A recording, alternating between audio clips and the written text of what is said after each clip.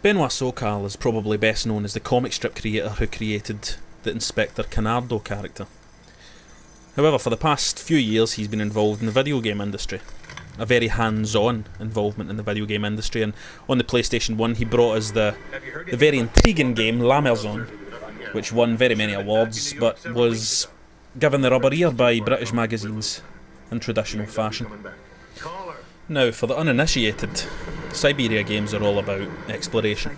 They're all about the manipulation of fantastically designed machinery. Not in a Myst fashion, not in that boring turn a wheel, make some steam come out a pipe kind of style, but in a very, a very playful, very childlike sense. You are filled with wonder, as is like a child looking upon the corpse of a man. Syberia 2 begins abruptly, with your Kate Walker character beginning a strange journey into the world that Sokal has created. The option to watch a recap of the first game is absolutely uh-huh. essential if you have any plans of knowing why you're doing what you're doing. Of course, you should probably just play the first game, as good as it is.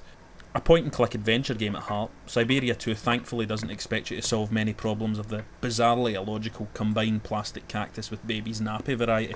All the minor puzzles are simplistic and logical, while the more confusing quandaries usually involve tinkering with gloriously realised machinery and fancy wee automatons that make me want to use the word delightful for the first time in my life. Negative points are few if you're a fan of the slow paced, thoughtful adventure game. If your point and click tastes lean more towards the Grim Fandango, Sam and Max, Day of the Tentacle type of thing, then you might want to stay away. But if you have a little patience and appreciate the charm that an artist can bring to video games, get your winter gear on. Syberia 2 is out now in the UK.